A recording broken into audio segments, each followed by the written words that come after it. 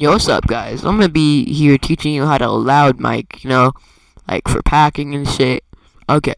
Anyway, so what you wanna do is you're gonna wanna go ahead, type in equalizer APO.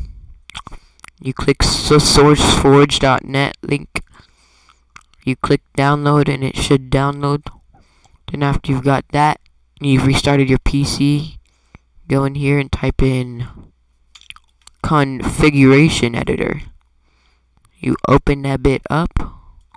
Then you're gonna put the bit to like 37 and make sure you have your device on your main microphone and all that.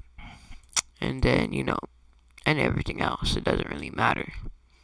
And uh what you're going to do is um over here you see where it says gain? You want to put the dB up. So this is 10 dB this is 20 dB this is 30 dB this is 40 dB this is 50 dB so basically anything after like 50 you can barely hear so like for example 70 it would just go static. But what I like to do is I like to put 3 dB. And when I'm about to loud mic, I just press 7. And it's going to get loud like this.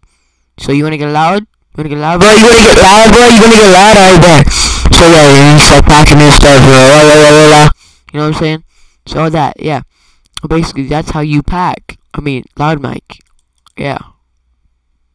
Thank you so much for watching.